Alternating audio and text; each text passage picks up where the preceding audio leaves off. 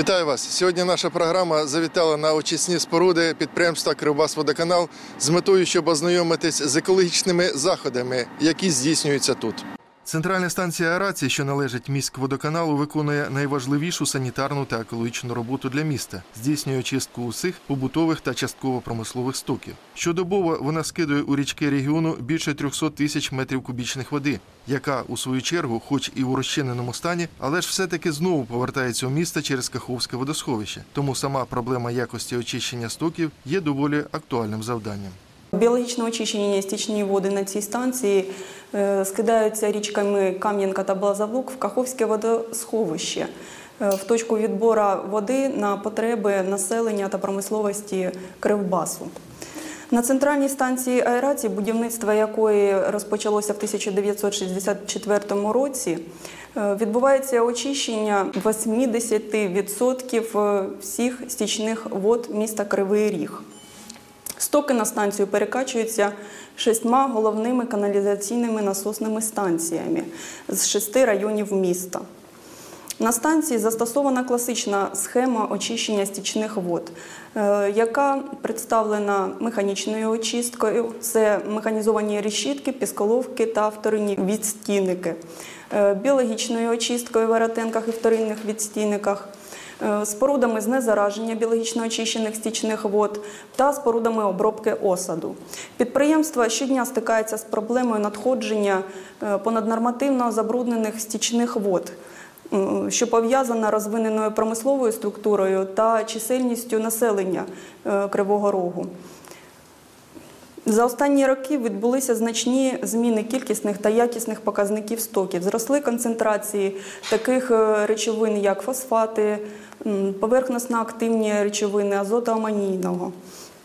Це пов'язано в першу чергу з застосуванням промисловістю заходів щодо скорочення використання води в технологічних ланцюгах, застосування оборотних систем водопостачання. Підвищення концентрації забруднюючих речовин негативно впливає і на активний мул, е, який використовується в біологічному очищенні стічних вод в аеротенках станцій аерації. Е, Вони пригнічують його життєдіяльність і тим самим ускладнюють процеси очищення. Для того, щоб через декілька років КП «Кривбасводоканал» не зіткнулося з неконтрольованим перевищенням норм гранично допустимого скиду забруднюючих речовин, Фахівцями підприємства за підтримки міської е, влади е, та фінансування з природоохоронного фонду Криворізької міської ради. З 2000 року впритул займаються проблемою реконструкції та модернізації очисних споруд. Ведуться роботи з вибору оптимальних технологій. Вже на виділені з природоохоронного фонду кошти, а це орієнтовно 100 114 мільйонів гривень, впродовж 14 років забезпечено модернізацію обладнання механічного і біологічного очищення стічних вод, енергетичного господарства станції аерації та інших об'єктах в рамках виконання реконструкції об'єктів південної станції, північної станції, центральної станції аерації. Вказані е, роботи дозволили забезпечити на станціях аерації дотримання проєктних показників очищення, а також виконання вимог правил охорони поверхневих водойм від забруднення зворотними водами за основними показниками. Проте залишається ще низка питань зі стабілізації досягнутих показників, які потребують термінового вирішення. Станом на сьогоднішній день продовжуються роботи з реконструкції північної та центральної станції аерації, в складі яких передбачається здійснити розробку проєкту дефосфатізації стічних вод. Щоб унеможливити додаткове навантаження на довкілля від стічних вод, тут проводиться щоденний ретельний аналіз параметрів води, що повертається у природу після регенерації. Лабораторія центральної станції аерації проводить аналіз води за 30 показниками і має можливість вести моніторинг її у разі необхідності навіть за 44 показниками. Это и азотамонины, нитриты, нитраты, и тяжелые металлы, и фенолы, различные промышленные загрязнения. То есть вода нормативно очищенная, э, сбрасывается в водный объект. Лаборатория контролирует качество очистки сточной воды, которая поступает на очистные сооружения, проходит все этапы очистки и очищенной сточной воды. То есть мы работаем со сточной водой. Также наша лаборатория контролирует качество питьевой воды э, в разводящей сети города, которая подается населению. Мы контролируем качество э, воды водоемов, в которые сбрасываются очищенные сточные воды. Это речка Каменка, это речка Саксагань, это речка Ингулец. Это вот основные направления работы нашей лаборатории. В останні роки у великих містах України, яким є і Кривий Ріг, спостерігається тенденція до зміни якісного складу стічних вод за рахунок збільшення частки фосфоромістких органічних речовин. Однією з причин цього явища є застосування синтетичних миючих засобів.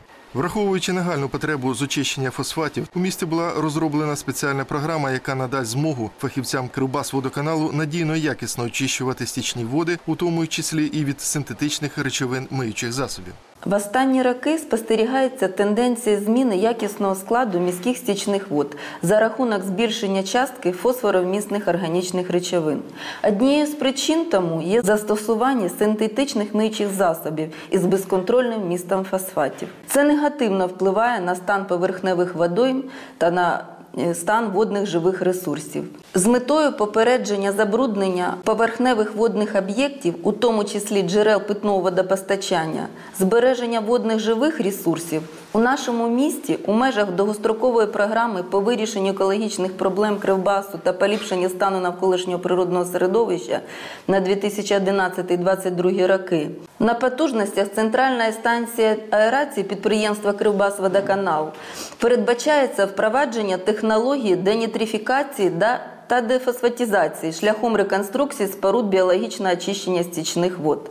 На даний час за рахунок коштів міського фонду охорони навколишнього природного середовища вже виконані проектні роботи щодо реконструкції споруд біологічного очищення стічних вод центральної станції аерації потужністю 81 тисяча метрів кубічних на добу з втіленням технології денітрифікації та дефосфатизації. На теперішній час про- проект знаходиться на е, е, державній експертизі. Впровадження проектних рішень дозволить зменшити кількість фосфатів у стічних водах, довести показник фосфати до нормативів гранично допустимих концентрацій скиду, а саме 3,5 мг на дециметр кубічний, та сприятиме покращенню екологічного і санітарного стану поверхневих водойм. Розробку проекту здійснили фахівці державного підприємства Кривбаспроект. На субподряде нашего института э, с нами работал Харьковский институт «Укрнеик проект». Разработан был проект по реконструкции объектов э, биологической очистки.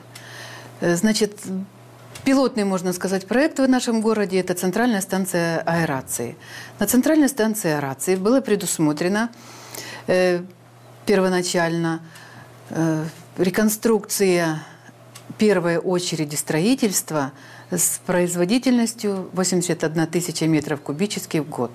Стоимость этого проекта составляет 19 миллионов 200 тысяч гривен. Проект сейчас находится в экспертизе. Вот. Ну и коротко о нем.